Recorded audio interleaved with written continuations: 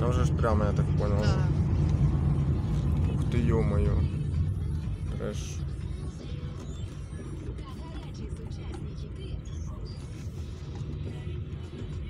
Продолжайте движение прямо.